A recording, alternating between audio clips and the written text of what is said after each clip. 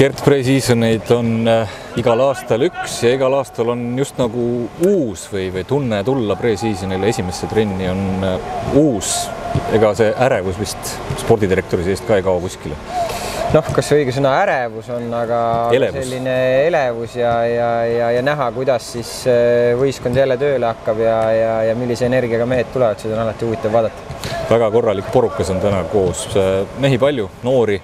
uusi ja eks fännide jaoks kõige põletavam küsimus olegi, kes need uued tegelased meil siis siin on, et lubasime aasta alguses öelda.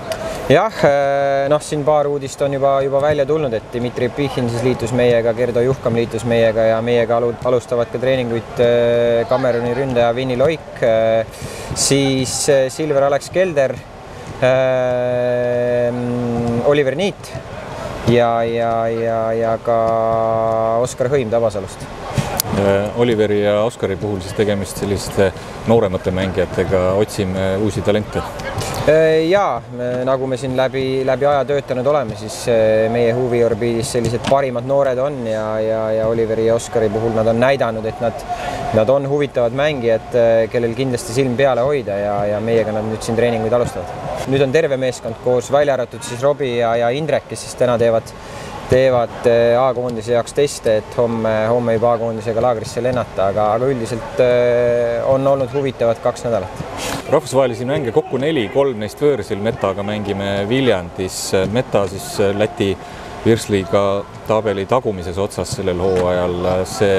saab olema siis nii-öelda see üks viimaseid proove enne, enne päris hooaja algust, kahekümne kuuenda veebruari superkarikat. jah, nagu eelmisel aastal, sel aastal lähme ka esimese võõrsil mängu mängime Seinajõel, kus siis äh, esiteks on väga head tingimused,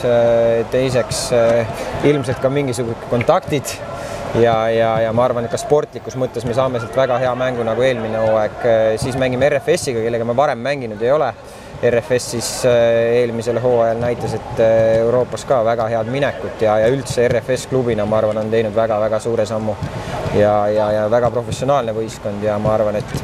et ka sportliku taseme mõttes väga-väga hea nagu selline sparringu, sparringupartner meile ja, ja siis tuleb juba Honga võõrsil. eelmine hooaeg mängisime ka Hongaga, mängivad väga sellist huvitavat jalgpalli selles mõttes, et tahavad väga palju palliga olla, väga domineerige just nagu palliga mängu, et,